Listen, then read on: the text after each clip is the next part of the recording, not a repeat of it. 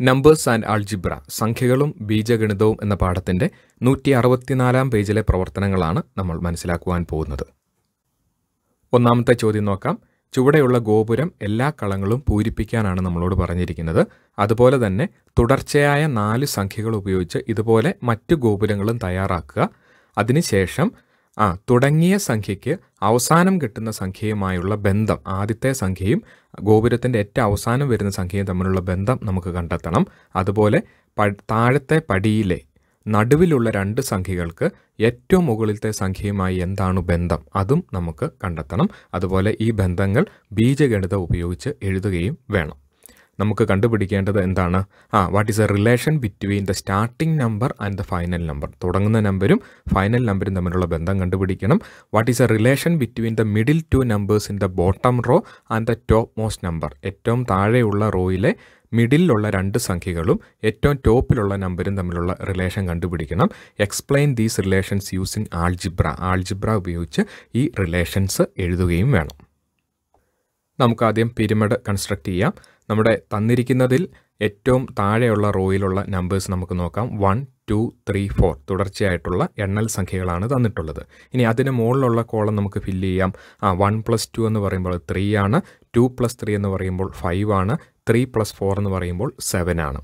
ഇനി അതിന് മുകളിലുള്ള രണ്ട് കോളങ്ങൾ ഫില്ല് ചെയ്യുമ്പോൾ ത്രീ പ്ലസ് ഫൈവ് എത്രയാണ്? എയ്റ്റ് കിട്ടി. ഫൈവ് പ്ലസ് സെവൻ ട്വൽവ് വന്നു. ദെൻ എയ്റ്റും ട്വൽവും കൂടെ ആഡ് ചെയ്യുമ്പോൾ നമുക്ക് ട്വന്റി എന്ന് കിട്ടും. അങ്ങനെ നമുക്ക് ആ പിരമിഡ് കംപ്ലീറ്റ് ചെയ്യാം. ഇതുപോലെ മറ്റൊരു പിരമിഡ് കൂടി നമുക്ക് കൺസ്ട്രക്ട് ചെയ്യാം. ഏറ്റവും താഴത്തെ റോയിൽ ഫൈവ് സിക്സ് സെവൻ എയ്റ്റ് തുടർച്ചയായിട്ടുള്ള നമ്പേഴ്സ് വേണം. അതിന് തൊട്ട് മുകളിൽ ഫൈവും സിക്സും കൂടെ ആഡ് ചെയ്യുമ്പോൾ ഇലവൻ ദെൻ സിക്സും സെവനും ആഡ് ചെയ്യാം തേർട്ടീൻ സെവനും എയ്റ്റും കൂടെ ആഡ് ചെയ്യാം ഫിഫ്റ്റീൻ എന്ന് കിട്ടും. Then eleven plus thirteen twenty ഫോറിന് മുകളിൽ എഴുതാം. Then thirteen plus fifteen twenty eight എന്ന് മുകളിൽ എഴുതാം. ഫൈനലായി ട്വന്റി ഫോറും ട്വന്റി എയ്റ്റും കൂടെ ആഡ് ചെയ്യുമ്പോൾ നമുക്ക് ഏറ്റവും ടോപ്പിലുള്ള ബോക്സിൽ ഫിഫ്റ്റി ടു എന്ന് കിട്ടും. ഇനി നമുക്ക് കണ്ടുപിടിക്കേണ്ട എന്താ? First relation between starting number and the final number അതായത് നമ്മൾ എഴുതാൻ തുടങ്ങിയ നമ്പരും ഫൈനലായിട്ട് ഏറ്റവും ടോപ്പിൽ കിട്ടിയിരിക്കുന്ന നമ്പരും തമ്മിലുള്ള റിലേഷനാണ് ആദ്യം എഴുതേണ്ടത്. ആദ്യത്തെ പിരമിഡ് നോക്കുമ്പോൾ നമ്മുടെ സ്റ്റാർട്ടിംഗ് നമ്പർ എന്ന് പറയുന്നത് വണ്ണും ഫൈനൽ നമ്പർ എന്ന് പറയുന്നത് ട്വന്റിയുമാണ് അപ്പോൾ നമുക്ക് അത് തമ്മിലുള്ള റിലേഷൻ ഇങ്ങനെ എഴുതാം. Twenty is equal to one into eight plus twelve അതായത് സ്റ്റാർട്ടിംഗ് നമ്പറിനെ എയ്റ്റ് കൊണ്ട് മൾട്ടിപ്ലൈ ചെയ്യുക. അതാണ് വൺ ഇന്റു എയ്റ്റ് അതിന്റെ കൂടെ ട്വൽവ് ആഡ് ചെയ്യുക. അപ്പോൾ എത്ര കിട്ടും? One into eight eight plus twelve എത്ര കിട്ടി? ട്വന്റി കിട്ടി. അപ്പോൾ സ്റ്റാർട്ടിംഗ് നമ്പർ വണ്ണും ട്വന്റിയും തമ്മിലുള്ള റിലേഷൻ നമുക്ക് എങ്ങനെ എഴുതാം? Twenty is equal to one into eight plus twelve എന്ന് എഴുതാം. അടുത്ത പിരമിഡ് നോക്കാം. ഇവിടുത്തെ സ്റ്റാർട്ടിംഗ് നമ്പർ ഫൈവ് ആണ്. ഫൈനൽ നമ്പർ ഫിഫ്റ്റി ടു ആണ്. ഇവ തമ്മിലും ഇതേ റിലേഷൻ ഉണ്ടോ നോക്കാം.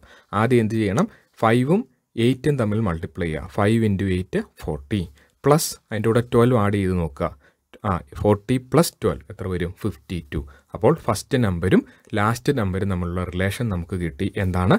ഫസ്റ്റ് നമ്പറിനെ എയ്റ്റ് കൊണ്ട് മൾട്ടിപ്ലൈന് ശേഷം അതിന്റെ കൂടെ ട്വൽവ് ആഡ് ചെയ്താൽ നമുക്ക് ലാസ്റ്റ് നമ്പർ കിട്ടും. അടുത്ത റിലേഷൻ നമുക്ക് കണ്ടെത്തേണ്ടത് relation between middle two numbers in the bottom row and the topmost number ഏറ്റവും താഴെയുള്ള റോയിലെ മിഡിലുള്ള രണ്ട് നമ്പരും അതുപോലെ ടോപ്പ് മോസ്റ്റ് ഏറ്റവും മുകളിലുള്ള നമ്പരും തമ്മിലുള്ള റിലേഷനാണ് ഫസ്റ്റ് പിരമിഡ് നോക്കുക. ഇവിടുത്തെ താഴത്തെ രണ്ട് മിഡിൽ നമ്പേഴ്സ് ഏതൊക്കെയാണ്? ടൂവും ത്രീയും ഇനി ടോപ്പ് നമ്പർ എത്രയാണ്?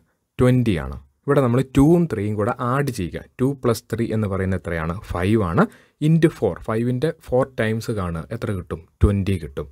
അതായത് മിഡിൽ നമ്പറിനെ ആഡ് ചെയ്ത് കിട്ടുന്ന സംഖ്യയുടെ ഫോർ ടൈംസ് ആണ് ടോപ്പ് മോസ്റ്റ് നമ്പർ ഇത് അടുത്ത പിരമിഡിലും കറക്റ്റ് ആണോ നോക്കാം.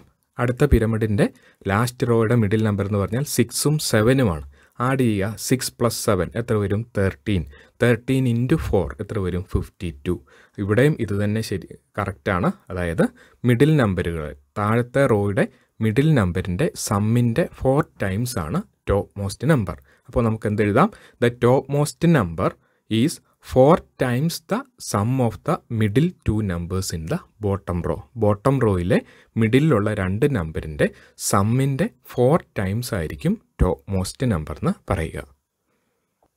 ഉത്തരം ഒരിക്കൽ കൂടെ നോക്കാം. ആദ്യം നമുക്ക് ഗോപുരം പൂർത്തിയാക്കണം. ഏറ്റവും താഴത്തെ നിരയിൽ തുടർച്ചയായിട്ടുള്ള സംഖ്യകൾ ഒന്ന് രണ്ട് മൂന്ന് നാല് എന്നാണ് തന്നിട്ടുള്ളത്. തൊട്ട് മുകളിലുള്ളത് നമുക്ക് എഴുതാം. ഒന്നും രണ്ടും കൂടെ കൂട്ടുമ്പോൾ മൂന്ന് രണ്ടും മൂന്നും കൂട്ടുമ്പോൾ അഞ്ച് മൂന്നും നാലും കൂടെ കൂട്ടുമ്പോൾ ഏഴ്.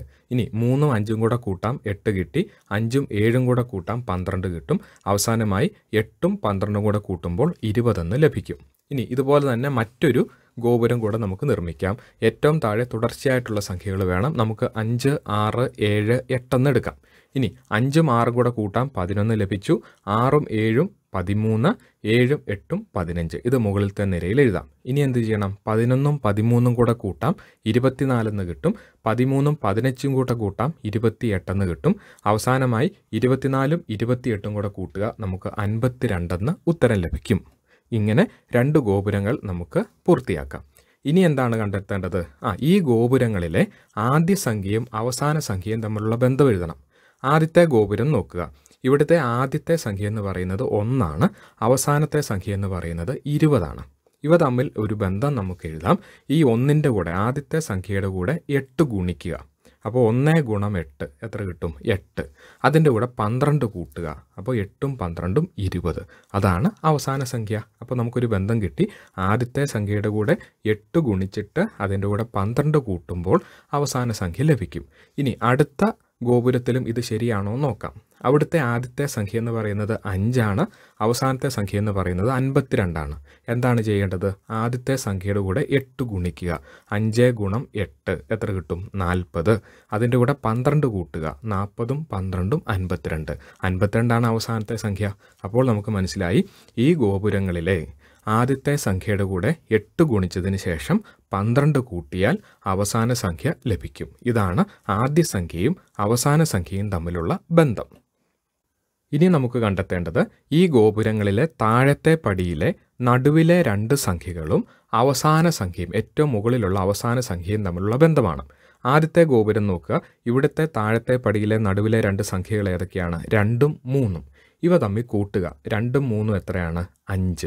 അഞ്ചിന്റെ കൂടെ എന്ത് ഗുണിച്ചാൽ ഇരുപത് കിട്ടും? നാല് ഗുണിച്ചാലാണ് ഏറ്റവും മുകളിലുള്ള സംഖ്യയായ ഇരുപത് കിട്ടുക. അപ്പോൾ നമുക്ക് എങ്ങനെ പറയാം? ആ താഴത്തെ പടിയിലെ നടുവിലെ രണ്ട് സംഖ്യകളുടെ തുകയുടെ നാലിരട്ടിയാണ് ഏറ്റവും മുകളിലുള്ള സംഖ്യ. ഇത് ശരിയാണോ എന്ന് അടുത്ത പിരമിഡ് വെച്ച് നോക്കാം. അടുത്ത പിരമിഡിലെ ഏറ്റവും താഴത്തെ പടിയിലെ നടുവിലെ സംഖ്യകൾ എന്ന് പറയുന്നത് ആറും ഏഴുമാണ്. അത് കൂട്ടുക. ആറും ഏഴും കൂടെ കൂട്ടുമ്പോൾ എത്ര കിട്ടി? പതിമൂന്ന് കിട്ടി. പതിമൂന്നിന്റെ നാല് ഇരട്ടി എന്ന് പറയുന്നത് എത്രയാണ്? പതിമൂന്ന് ഗുണം നാല് അൻപത്തിരണ്ട്. അപ്പോൾ നമുക്ക് ഈ ബന്ധം ശരിയായി കിട്ടി. അതായത് താഴത്തെ പടിയിലെ നടുവിലെ രണ്ട് സംഖ്യകളുടെ തുകയുടെ നാലിരട്ടിയാണ് ഏറ്റവും മുകളിലുള്ള അവസാന സംഖ്യ. ചോദ്യത്തിന്റെ അടുത്ത ഭാഗത്ത് നമ്മൾ നേരത്തെ കണ്ടെത്തിയത് ആൾജിബ്രായിക് ഫോമിൽ എഴുതാനാണ് നമ്മളോട് പറഞ്ഞിരിക്കുക. നമ്മൾ നേരത്തെ എഴുതിയ പിരമിഡ് ഒന്നുകൂടെ എഴുതാം.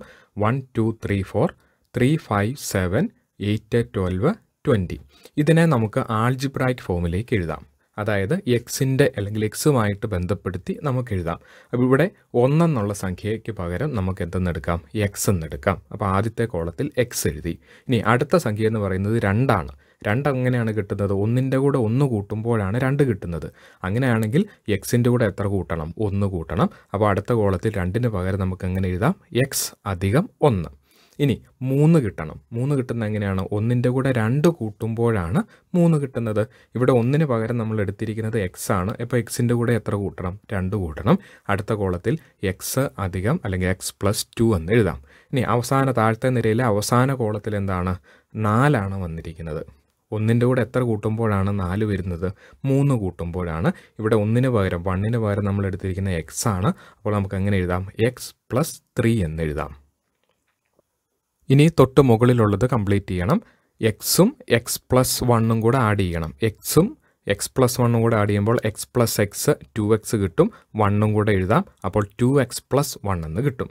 അടുത്തതായി എക്സ് പ്ലസ് വണ്ണും എക്സ് പ്ലസ് ടുവും കൂടെയാണ് ആഡ് ചെയ്യേണ്ടത് എക്സും എക്സും കൂടെ ആഡ് ചെയ്യുമ്പോൾ ടു എക്സ് കിട്ടും വണ്ണും ടുവും കൂടെ ആഡ് ചെയ്യുമ്പോൾ ത്രീ അടുത്തതായി എക്സ് പ്ലസ് ടുവും എക്സ് പ്ലസ് ത്രീയുമാണ് ആഡ് ചെയ്യേണ്ടത് എക്സും എക്സും കൂടെ ആഡ് ചെയ്യുമ്പോൾ ടു എക്സ് കിട്ടും ടുവും ത്രീയും കൂടെ ആഡ് ചെയ്യുമ്പോൾ ഫൈവ് കിട്ടും ഏറ്റവും മുകളിൽ ടു എക്സ് പ്ലസ് ഫൈവ് എന്ന് കിട്ടി അപ്പോൾ മുകളിലത്തെ റോ നമുക്ക് കിട്ടി two x plus one two x plus three two x plus five അടുത്തായിട്ട് ആഡ് ചെയ്യണം ടു എക്സ് പ്ലസ് വണ്ണും ടു എക്സ് പ്ലസ് ത്രീയും ആഡ് ചെയ്യണം ടു എക്സും ടു എക്സും ആഡ് ചെയ്യുമ്പോൾ ഫോർ എക്സ് കിട്ടി. വണ്ണും ത്രീയും കൂടെ ആഡ് ചെയ്യുമ്പോൾ ഫോർ കിട്ടി. അപ്പോൾ തൊട്ട് മുകളിൽ four x plus four then two x plus ത്രീയും ടു എക്സ് പ്ലസ് ഫൈവുമാണ് ആഡ് ചെയ്യേണ്ടത്. ടു എക്സും ടു എക്സ് കൂടെ ആഡ് ചെയ്യുമ്പോൾ ഫോർ എക്സ് ത്രീയും ഫൈവും കൂടെ ആഡ് ചെയ്യുമ്പോൾ എയ്റ്റ് അപ്പോൾ ഫോർ എക്സ് പ്ലസ് എയ്റ്റ് ഫൈനലായിട്ട് ഫോർ എക്സ് പ്ലസ് ഫോറും ഫോർ എക്സ് പ്ലസ് എയ്റ്റുമാണ് ആഡ് ചെയ്യേണ്ടത്. ഫോർ എക്സും ഫോർ എക്സ് കൂടെ ആഡ് ചെയ്യുമ്പോൾ എയ്റ്റ് എക്സ് ഫോറും എയ്റ്റും കൂടെ ആഡ് ചെയ്യുമ്പോൾ ട്വൽവ് അപ്പോൾ ഏറ്റവും മുകളിലത്തെ തെറ്റോ മോസ്റ്റ് ബോക്സിൽ നമുക്ക് എയ്റ്റ് എക്സ് പ്ലസ് ട്വൽവ് എന്ന് എഴുതാം. അടുത്തതായി നമുക്ക് relation between middle two numbers in the bottom row and the top most number ഏറ്റവും താഴെയുള്ള റോയിലെ മിഡിലുള്ള രണ്ട് സംഖ്യകളും ആ ഏറ്റവും ടോപ്പ് മോസ്റ്റ് നമ്പറും തമ്മിലുള്ള റിലേഷൻ കണ്ടുപിടിക്കാം. The middle two numbers in the bottom row ഏറ്റവും താഴെയുള്ള റോയിലെ മിഡിൽ നമ്പർ ഏതൊക്കെയാണ്? X plus one and x plus two ആണ്. അവയുടെ സമ്മ് കാണുക. X plus one plus x plus two എന്ന് പറയുന്നത് എത്ര കിട്ടും? അത് ടു എക്സ് പ്ലസ് ത്രീ ആണ്. ഇനി four times of this sum ഈ സമ്മിന്റെ അതായത് ടു എക്സ് പ്ലസ് ത്രീയുടെ നാല് മടങ്ങ് ഫോർ ടൈംസ് കാണുക. അതെങ്ങനെയാണ്? Four into two x plus three which is equal to four into two x എന്ന് പറയുമ്പോൾ ഫോറും ടൂവും കൂടെ മൾട്ടിപ്ലൈ എയ്റ്റ് ആണ് എയ്റ്റ് എക്സ് എന്ന് കിട്ടും. ഫോർ ഇന്റു ത്രീ എന്ന് പറയുന്നത് ട്വൽവ് ആണ്. അപ്പോൾ ടു എക്സ് പ്ലസ് ത്രീയുടെ ഫോർ ടൈംസ് എന്ന് പറയുന്നത് എയ്റ്റ് എക്സ് പ്ലസ് ട്വൽവ് ആണ്. ഇനി ടോപ്പ് മോസ്റ്റ് നമ്പർ നോക്കിക്കേ അതും eight plus eight x plus twelve ആണ്. അതിനർത്ഥം എന്താ? This is a top most number അപ്പോൾ നമുക്ക് റിലേഷൻ എഴുതാം. The top most number is four times the sum of the middle two numbers in the bottom row bottom റോയിലുള്ള മിഡിലുള്ള രണ്ട് സംഖ്യകളുടെ സമ്മിന്റെ ഫോർ ടൈംസ് ആണ് എന്ത്? ആ top most number eight x plus twelve എന്ന് പറയുക. ഉത്തരവൊരിക്കൽ കൂടെ നോക്കാം. ഇവിടെ നേരത്തെ കണ്ടുപിടിച്ച ബന്ധങ്ങൾ ബീജഗണിത രൂപത്തിൽ എഴുതാനാണ് നമ്മളോട് പറഞ്ഞിട്ടുള്ളത്. ആദ്യത്തെ ഗോപുരം നമുക്ക് ഒന്നുകൂടെ എഴുതാം. ഒന്ന് രണ്ട് മൂന്ന് നാല്. അതിനുശേഷം മൂന്ന് അഞ്ച് ഏഴ്. പിന്നെ എട്ടും പന്ത്രണ്ടും. അവസാനം ഏറ്റവും മുകളിൽ ഇരുപത്. ഇതിനെ ബീജ രൂപത്തിലേക്ക് മാറ്റുമ്പോൾ ഒന്നിന് പകരം നമുക്ക് എക്സ് എന്നെടുക്കാം ഇനി അടുത്ത കോളത്തിൽ രണ്ടാണ്. രണ്ട് എങ്ങനെയാണ് കിട്ടുന്നത്? ഒന്നിന്റെ കൂടെ ഒന്ന് കൂട്ടുമ്പോഴാണ് രണ്ട് കിട്ടുന്നത്. ഇവിടെ ഒന്നിന് പകരം നമ്മൾ എടുത്തിരിക്കുന്നത് എക്സ് ആണ്. അപ്പോൾ എക്സിന്റെ കൂടെ ഒന്ന് കൂട്ടുക. എക്സ് പ്ലസ് ഒന്ന്. അതാണ് അടുത്ത കോളത്തിൽ വരുന്ന സംഖ്യ. ഇനി ഒന്നിന്റെ കൂടെ രണ്ട് കൂട്ടുമ്പോഴാണ് മൂന്ന് കിട്ടുക. അങ്ങനെയാണെങ്കിൽ എക്സിന്റെ കൂടെ രണ്ട് കൂട്ടി മൂന്നാമത്തെ കോളത്തിൽ എഴുതണം. എക്സ് അധികം രണ്ട്. ഇനി നാല് കിട്ടുന്നത് എങ്ങനെയാണ്? ഒന്നിന്റെ കൂടെ മൂന്ന് കൂട്ടുമ്പോഴാണ് നാല് വരിക. അങ്ങനെയാണെങ്കിൽ ഒന്നിന് പകരം നമ്മൾ എടുത്തത് എക്സ് ആണ്. എക്സിന്റെ കൂടെ മൂന്ന് കൂട്ടുക. അപ്പോൾ അവസാന കോളത്തിൽ വരുന്നത് എക്സ് അധികം മൂന്ന്. ഇനി മുകളിലത്തെ കോളങ്ങൾ എഴുതാം. എക്സും എക്സ് അധികം ഒന്നും കൂടെ കൂട്ടണം. എക്സും എക്സും കൂടെ കൂട്ടുമ്പോൾ രണ്ട് എക്സ് ആയി ഒന്ന് അവിടെ എഴുതുക. അപ്പോൾ രണ്ട് എക്സ് അധികം ഒന്ന്. ഇനി നമുക്ക് എക്സ് അധികം ഒന്നും എക്സ് അധികം രണ്ടും കൂടെയാണ് കൂട്ടേണ്ടത്. എക്സും എക്സും കൂടെ കൂട്ടുമ്പോൾ രണ്ട് എക്സ് ഒന്നും രണ്ടും കൂടെ കൂട്ടുമ്പോൾ മൂന്ന്. അടുത്തതായി എക്സ് അധികം രണ്ടും എക്സ് അധികം മൂന്നും കൂടെയാണ് കൂട്ടേണ്ടത്.